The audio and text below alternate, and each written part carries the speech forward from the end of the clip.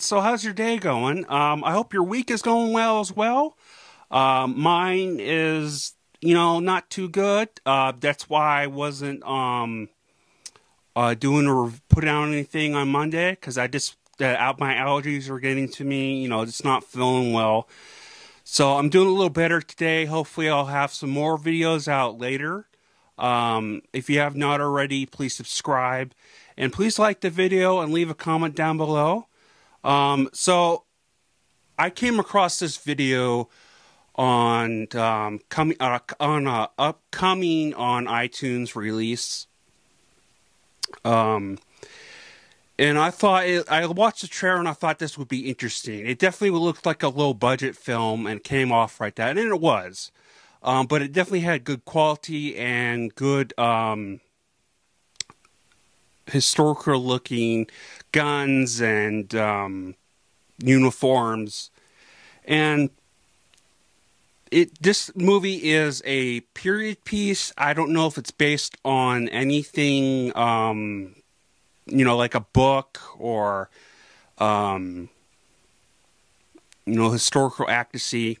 Um, it has it is definitely a period piece of of sorts. Um, it is it takes place between Civil War and Western, but it it, it, it equally goes between it has a backstory. It goes to backstory and then present day. So it's Civil War backstory and then present day, and it definitely did take a, a little listening and watching to actually understand the story because how they do it, it's kind of abrupt when they do it between each one, and they constantly go back and forth. Um, I the guy in here um, is is usually a villain and he, he I like him as a character. He he also is kind of um as he he was on the CW show as a villain, a couple of different shows, um Arrow and Legends of Tomorrow. But he's also he does what he does is he's a serious actor kind of thing, but he he adds com- comedic to it to his character. So he's kind of a wise ass and whatnot, and kind of a playful person while being a villain. He was not a villain in here, um, which I was usually I'm used to him being a villain, and I do like him as an actor. I really do. But the acting in general in here was I, I, the story. I think it's more of the writing that I have an issue with. It's a little odd. Um, don't get me wrong, I definitely enjoyed the movie, but the acting, uh, sorry, the character uh, writing in here, it could be the acting too. Um, I'm not really that professional, so I don't know the difference um, sometimes.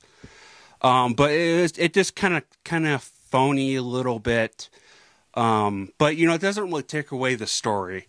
Um, you know, definitely a good story, not like something you know, like, oh wow, that was just blown away kind of thing.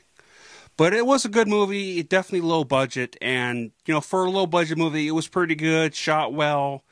Um, you know, I highly recommend the movie. I would definitely give this three and a half stars out of five. Um, definitely a movie you need to see you know, if you're interested in that kind of stuff, which a lot of people are, um, I, I definitely was enjoyed. I enjoyed the whole movie for sure, and you know, a little bit of a, a twist in there that I was not expecting. I thought, oh wow, for a low budget film, you don't really get that kind of suspense, or not suspense, but um, that kind of thing where it's a little bit of a, a, a twist that you didn't expect because usually you can expect things to it with low budget how they're written usually. But anyways that that is my review. Um, i will have a hopefully another review today um, if not tomorrow. And the next one is going to be a fan request. So stay tuned for that. Um, hit the bell icon so you never miss a a review. Um, and uh, Thanks for the love and support, and uh, stay positive, everyone. Have a good week.